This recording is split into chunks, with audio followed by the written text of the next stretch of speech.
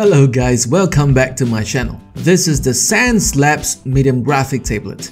And I'm sorry that this is not an unboxed video because I um, just got lucky that my friend got an used unit for me to test it out. Don't get upset, I will still go through the leads and specs with you guys so you won't miss the testing part and hardware close-up shots. So this is the case box that keeps the pen and other stuff in it. It is a pretty solid matte surface case with some texture on it. It feels a bit heavy too. Don't get panicked. Why is there some empty slots and what is that for? I got that. I have the same reaction as you. First of all, it comes with 6 black standard nibs and 4 white felt nibs. On the right of that empty holes is a nib extracting ring.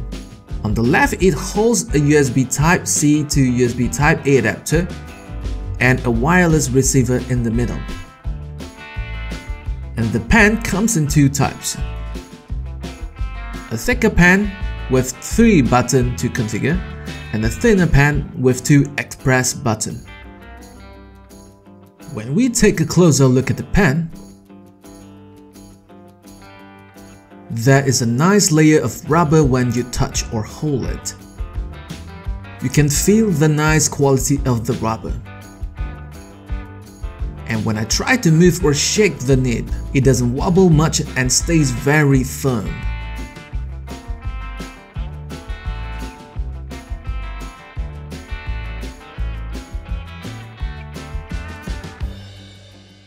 And here's the thin pen. It is slimmer. It's the first time ever I'm encountered with such a slim pen. All the other pens that I used before, it's either the same as the previous pen size or just slightly slimmer. It has the same nice smooth rubber and two buttons with it. And here's the comparison of both pens side to side and have a clearer look of the differences in both. The back button of the pen is set to be an eraser which is really handy and it feels like a traditional pencil, the classic type. And this is a wireless receiver.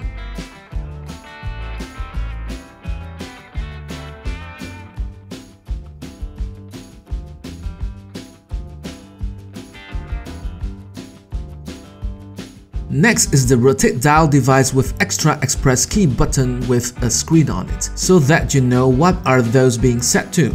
If you set undo, quick brush B selection, pen tool, smooth smudge brush with the specific shortcuts, it will map onto it and show you here. The button clicking feels quite solid too, and that wheel rotate is all smooth and doesn't have a gear mechanism to control it. The middle button allows you to switch the mode, zoom, size of the brush and so on.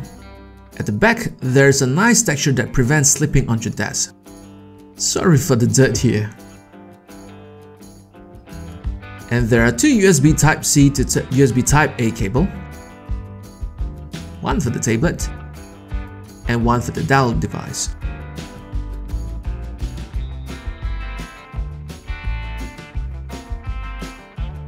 On the board, there are four little white border that shows the active drawing size on the tablet. Three express key button at the top, and here's where you plug in the USB Type-C. Beside here is the power button.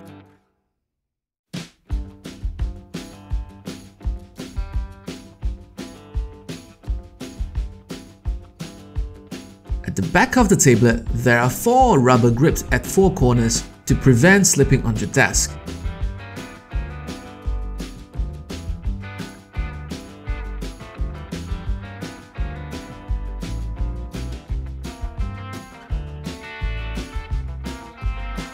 And that's all about it. Let's look into software installation part. In this section, I'm gonna show you where to download the driver. Go to Google and search Xencelabs then click the support section and click download driver from the drop down menu. It supports Mac, Windows and Linux. So choose the correct driver and download. After that, you can proceed with the installation. Next, software calibration. You need to make sure the tablet is connected. If you have the dial device, connect them as well, so that it detects and able to continue to the settings page. And it gives you some insights about the features, three buttons on the tablet that is customizable, pan-tip pressure with soft, linear, and heavy sensitivity style. You can choose the tablet mapping area, screen, monitor 1 or 2 or both.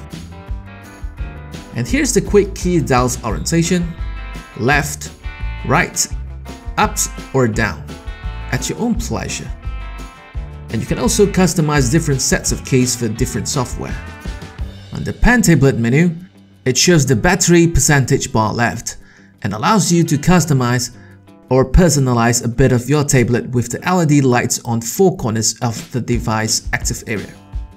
You can also adjust brightness of the light, off, dim, medium and bright. And here's the light effect shown on the corner when I cycle through different colors.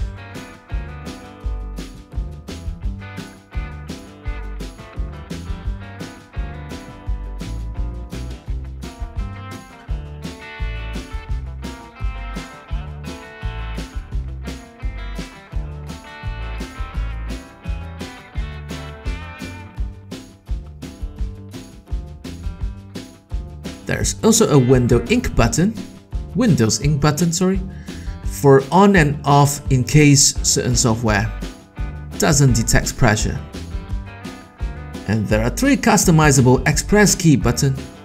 Below here, left button, middle button, right button, set any functions you need. Next on the menu, we have that 3 button pen. So in here you can customize the functions on those buttons and eraser at the back and adjust the pen pressure slider bar at your will to get the best drawing experience out of it. I kinda like that when you choose those button functions. It highlights the pen button which one you are configuring now. Then, the thin pen is the same, just less one button to configure. Is the quick key dial device. There are 8 buttons for you to configure and with different sets you can switch to for different software. And the dial rotate has 4 modes. Scroll, zoom, rotate and brush sizes. At the side, it also shows the battery percentage left. At the last menu preferences tab, it allows you to switch screen mapping, which monitor or all monitors. Next we have friction sound. The sound it produces when you draw on the surface. I recorded from around 6 inches away from the point I drew using an iPhone. No Rode, no special microphone, not too loud and it is within the acceptable sound noise range. When I knock the nib on the board, you can hear that is pretty solid, not made by cheap materials.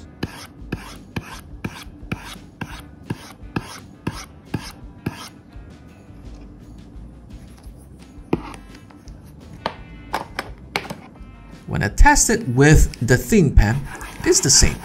Feels very solid and no loud noises.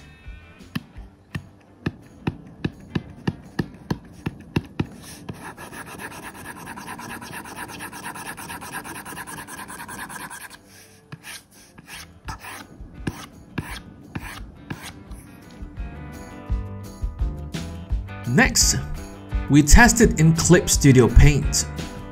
The pressure sensitivity works well when I draw curved lines. Just that I did make a few times of adjustment before getting the best pressure feel.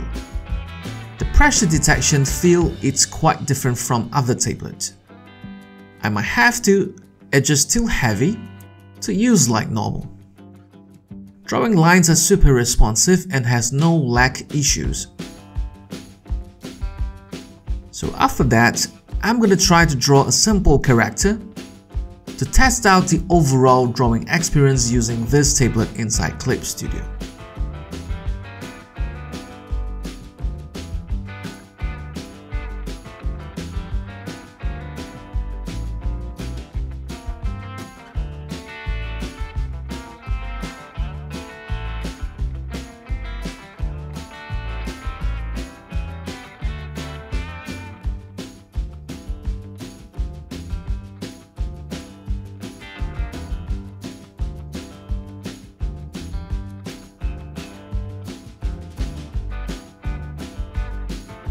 Next, I'm trying this dot test. You can see that it responds great and not missing any dots. Some tablet might not pass this test, and it won't wobble at all. Overall, it feels great.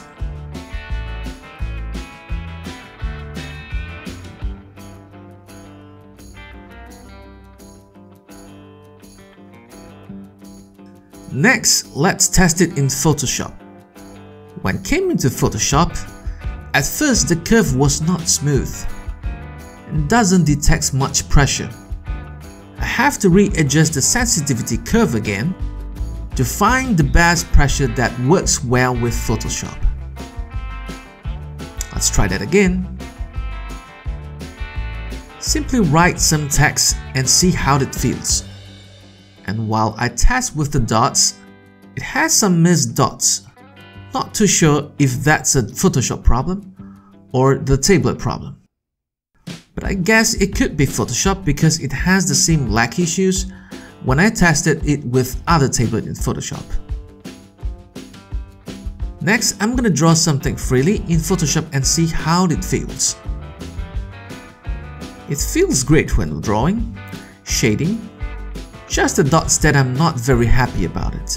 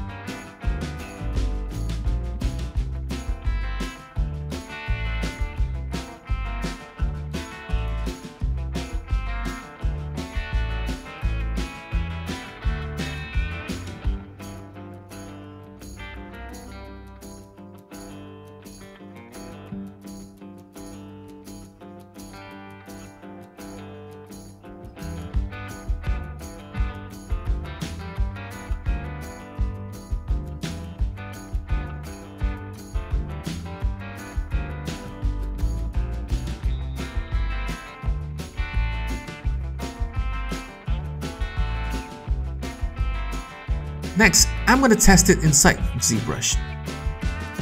So I have this guy who looks very angry and eager to know how this table works in ZBrush. Hmm, looks like somebody pissed him off badly. I'm reshaping bit of the face and give him bit of different look. he looked slightly younger now.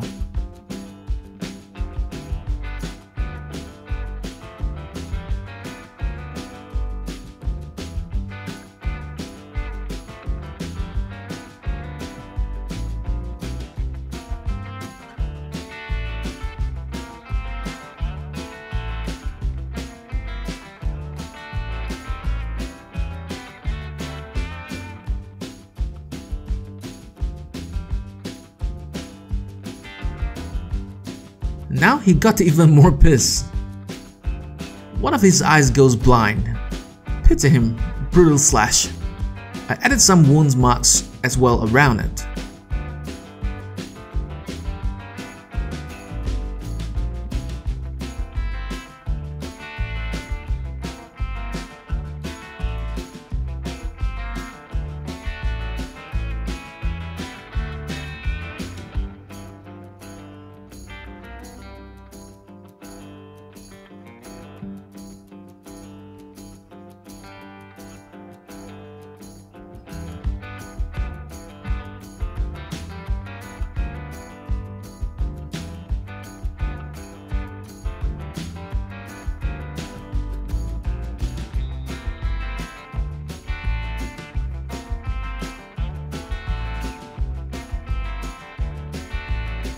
Overall, drawing experience in ZBrush feels really really good. The pressure sensitivity works very well. Every stroke and every detail sculpted exactly how you expect it to be. I can spend a whole day sculpting in ZBrush with this nice tablet.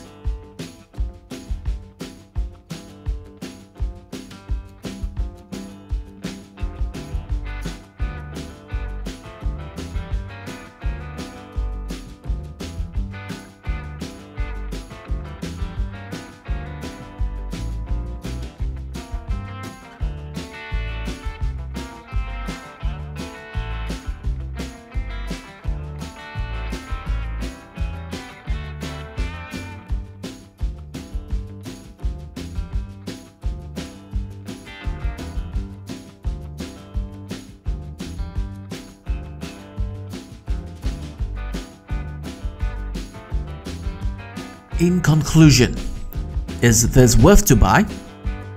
This tablet comes in two different sets. The base price is $279.99 without the quick keys device. If you prefer to purchase with the quick keys device, the price is $359.99. And here's the total item of what is inside the box. And here's the specs.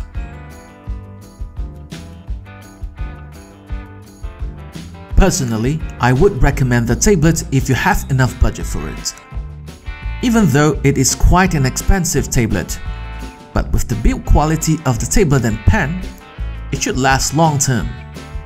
But I won't recommend the quick keys device though. It is something extra and it is not cheap. I would rather use keyboard because I'm already get used to it. What do you guys think about it? Is this product worth the price? Let me know down in the comment section below whether you will purchase this tablet compared to other brands tablet. If you would like to see more videos like this in the future, please click the like button and the subscribe button together with the ring notification button so you won't miss any new content in the future. Until then, I will see you next time. Bye!